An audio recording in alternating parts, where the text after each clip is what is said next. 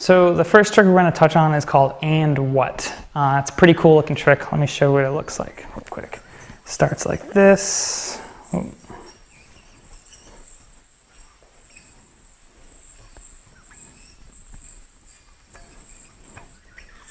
That's the whole trick right there.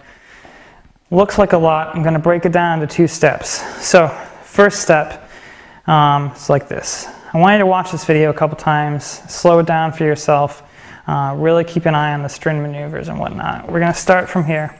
Um, you start with a mount. It's like a double or nothing, except the first string goes around your thumb. Um, so start basically with double or nothing, except goes around your thumb right there. What you do from here is you take your non-throw hand pointer finger and you bring it actually around the yo-yo, just like so.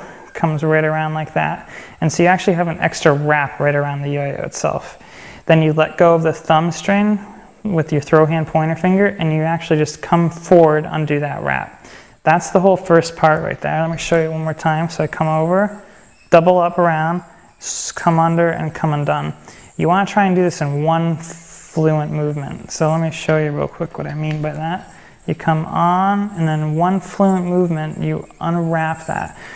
Um, it's just kind of a quick move. You, most people, when you do it, you won't be able to really see it. Um, it just hits and then comes right underneath.